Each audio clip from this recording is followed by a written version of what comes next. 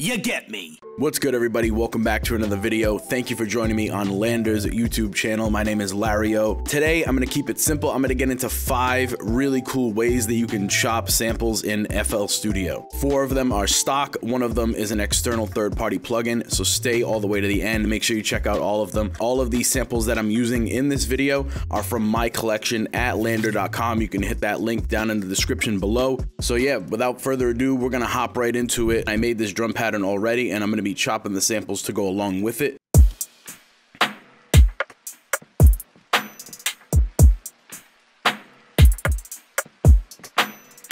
I chose this sample right here to start out with. It's called the Prophet Synth Key. This is in my collection as well. Let's just listen to that by itself. I didn't time any tempo yet.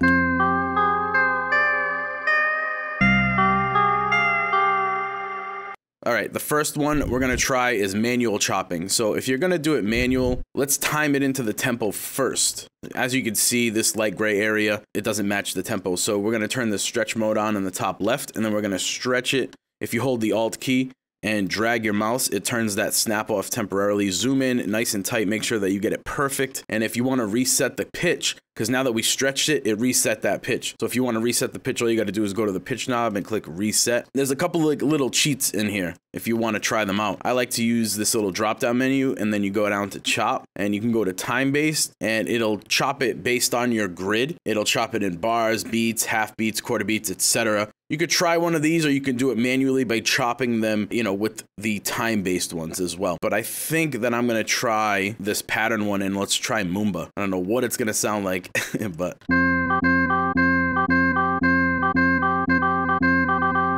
That might be too much. So you can undo, go back to it, go to chop. Let's just try another one of those patterns. Breakdown.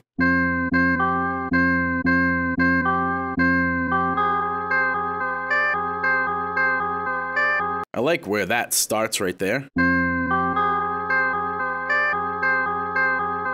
And then just choose that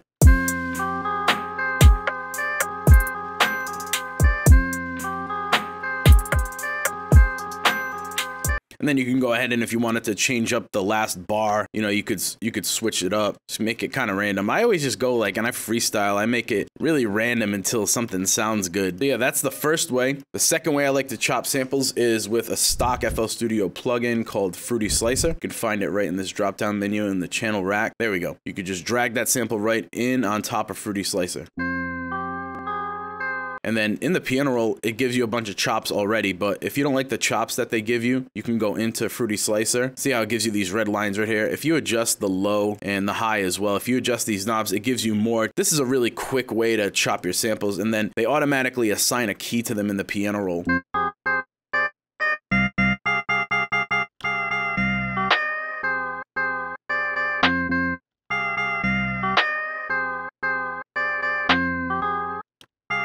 See, that's a quick loop right there. Let's check that out.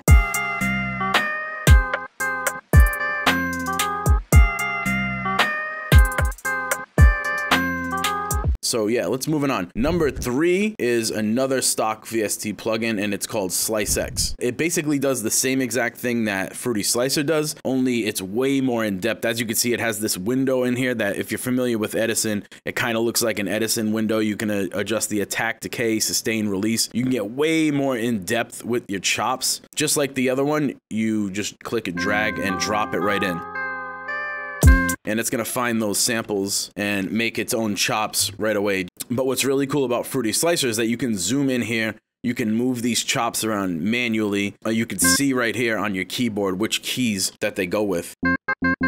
So it starts on C, so C5, and then it goes up. And then you can delete these chops. You can rename them if you'd like. You can clone as a region and then you can click and drag another chop if you wanted to make one more like manual chops. Now I have all these different transients set as a chop. Just like Slicer, you can go into the piano roll, create your own pattern.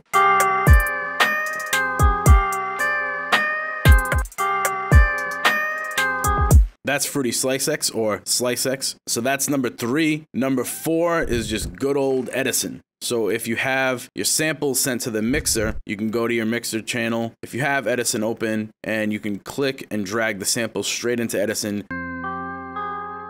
So now you have this window in Edison and you can just basically choose whatever chops you want. So you can see these transients if you wanted to just chop these. So you can get really fine tuned in here and just click and highlight that right on that beginning transient. Make sure you get it nice and close. And then once it's highlighted red, you just click and drag it into the playlist. So now we got that chop. I'm going to choose this one next. Channel rack right underneath that. Make sure you get right up and nice and close. So that way these things loop correctly.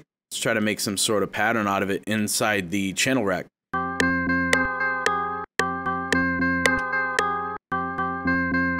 Yeah, that's a short one, but it's sweet. So you could just kind of throw those into your playlist. So that's number four with Edison. That's a super manual way to do it. Number five, I just came across this plugin sort of recently. It's amazing, honestly. It's called Serato Sample. Open it up in Channel Rack. So you just drag it right into Serato Sample. You can change the key up in the top, which is fire. Um, this plugin is really just made for sampling. They thought of pretty much everything with this plugin. And then you go to find samples down in the bottom, set random, or you could set slicer, and then it's going to find the transients as well.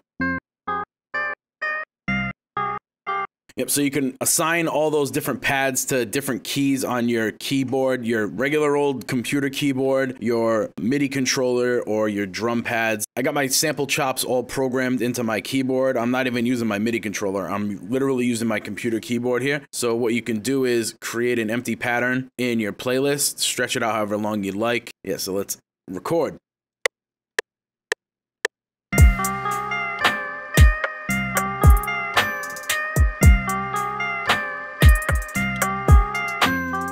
We're gonna have to send this instance of Serato sample into the mixer, uh, but let's just give it a listen.